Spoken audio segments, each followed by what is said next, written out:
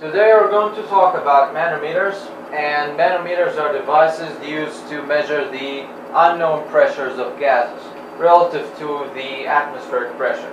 And the idea of the manometer is really simple. So this is how it works. Let's say um, we have a box like that and to this box there is an attached U-tube. And this side is a little bit higher than the contact side of the box. This is how the manometer looks like.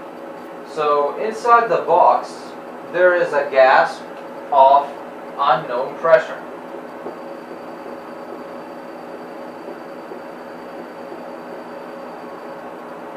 So simply what happens is inside the U-tube we put a liquid of known density let's say mercury for example.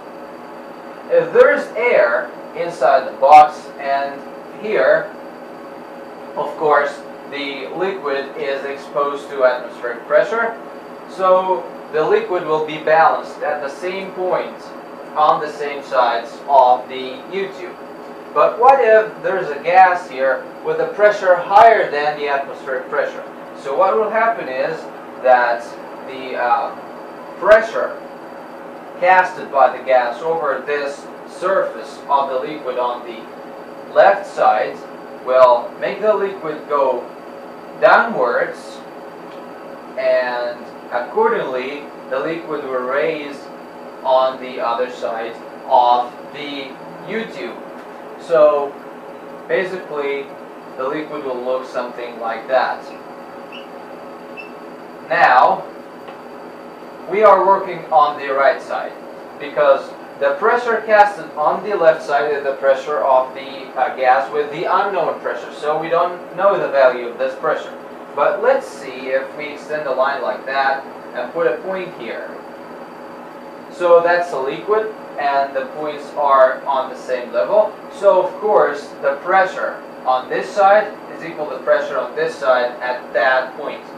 So easily we can simply calculate the pressure at the point here because the pressure equals the atmospheric pressure plus the pressure of the liquid here. So we can easily calculate the height.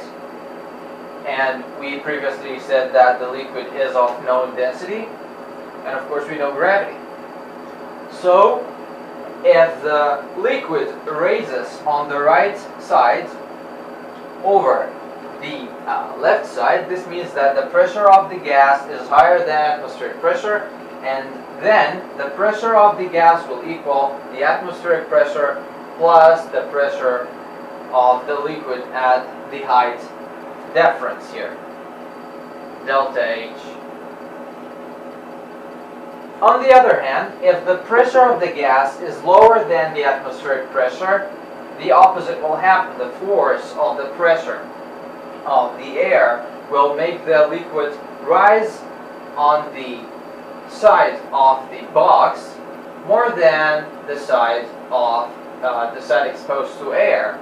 So the liquid will look completely opposite, like that.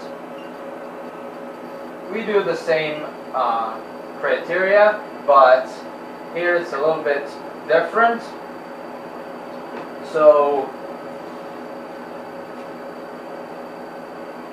we said in the first time that the pressure of the gas equals the atmospheric pressure plus the pressure of this height.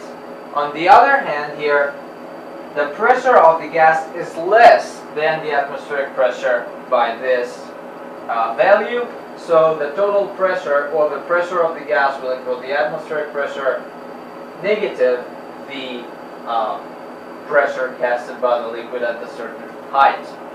So this is how to calculate the pressure of gases using the manometer. I hope it was clear for you and until the next time I thank you for watching and see you.